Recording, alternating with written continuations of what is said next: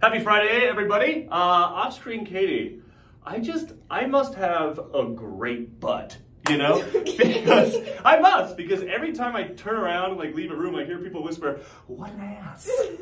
you know? Yeah. It's like, cool, I like that. Anyway, uh, appreciate it. It's so nice. Uh, so anyway, check it out, guys. Uh, look, here is another strategy. So I'm zooming with an agent and I go, look, they're approved up to 750.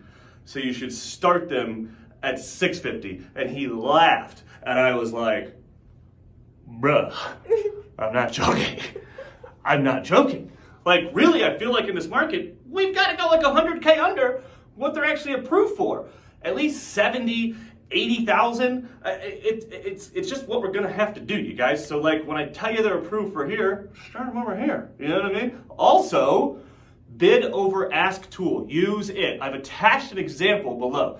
Click on it, check it out. This is bid over ask. It calculates very conservatively at like national average 5.8% appreciation what the break even is for how much they bid over, right? So, like for example, I think this one is eight months is, is when they, they get back to even, right? And then it shows uh, the projection of how much equity they'll get over five years. Have me do this. It's a software I pay for. I can't send it to you to do it. You have to give me the address or the MLS number, and then I'll pop it in. I wish I could send it to you because I'm gonna have like 50 people ask me to do this, which is fine. I'll do it.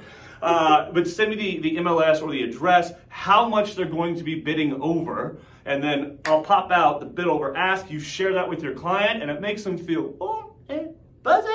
They're like, let's do it. Let's go 150 over. It's a good idea. And it is. It's just, it helps. So anyway, sorry about rambling on there. Go 100K under and use the bid over ask tool. Click on it below to check it out. I didn't do, I, I got the address out of it just for privacy reasons. But anyway, check it out. It's up the hill in Grand County. Up the hill. That's what we say. That's a Colorado slang term. Uh-huh. Up the hill. All right. Have a good weekend. Get contracts. I'm here to help you do it. See ya. Bye bye.